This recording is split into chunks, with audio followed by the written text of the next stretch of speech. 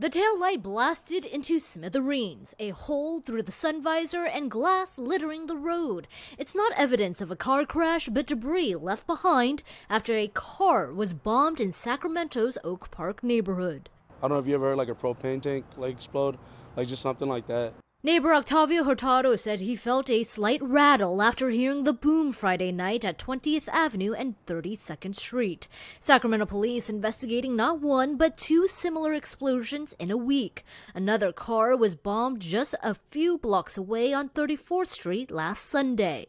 Investigators have determined homemade explosives were detonated inside the empty cars. That's just the only scary part. You know, someone's really knowledgeable to be making something like that. Neighbors say the car that was bombed here was abandoned for about a week before it was hit, stripped of its parts, and its windows open, similar to this one. They're worried it could happen again. Neighbors we spoke to off camera say the city has been slow to act on their reports of dumped vehicles. They say this one, a white and graffitied Volkswagen, has been on the street for about a month. Neighbors say it's not only an eyesore, but the blight is attracting crime and creating hazards for residents. According to the city of Sacramento, Sacramento's website, the car's condition would allow the city to immediately tow the car without notifying the owner.